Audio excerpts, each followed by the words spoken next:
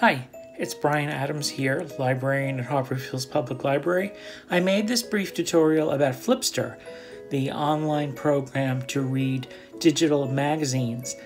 It's a fantastic database and I hope you give it a try. Here we go. Hi, so we're doing a brief tutorial about the Flipster app. If you go to the Harborfields Library homepage, you'll see if you scroll down on the main page that there is a little button that tells you all about the Flipster app. And if you're using a regular PC or a laptop, you can download it and use it through the app on your computer. But I'm going to go to the App Store. I'm using an iPad tablet, but this is good for Android phones, tablets, and iPhones, iPads. And in the App Store, I'm typing in Flipster, and there it comes right up Flipster Digital Magazines. And I'm going to download the app to my tablet. This may take a few moments depending on your Wi Fi internet connection.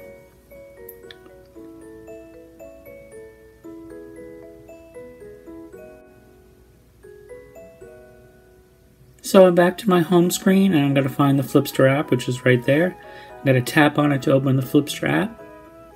And I'm going to get started. So I'm going to click on Get Started and I'm going to get my library card barcode from the back of my library card. The next step here, I'll have to choose Harborfields Library as my library. So I just type in Harborfields Library or just Harborfields. And it comes up and I'm going to click on Log In shows that I'm Harborfields Library card holder. From the back of my library card, I'm going to type in my long library card number or patron ID. And I'm going to click on Sign In. Then I'm presented with an array of all the different magazines that Flipster has available. There's tons of different categories. There are some very popular magazines.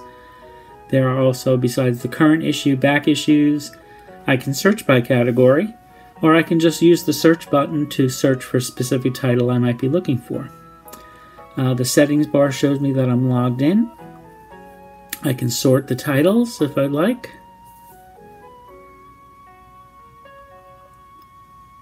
And I find one amongst these magazines. I choose a travel one because we're all armchair travelers these days.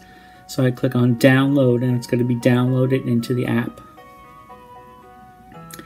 It takes a moment or two to, for the download to complete, and as you can see, there's back issues available as well. So the magazine will open. I can tap on it to make it full screen.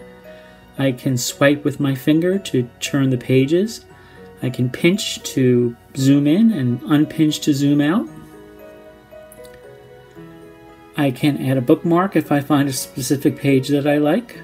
I can look at the text view if I want to just see the stories without the pictures. On the right hand side I can say I can jump ahead to the table of contents.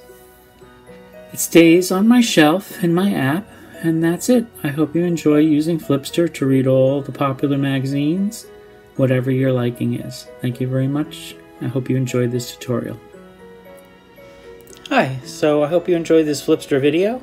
If you have any questions, please call the library at 631 757 4200, extension 120.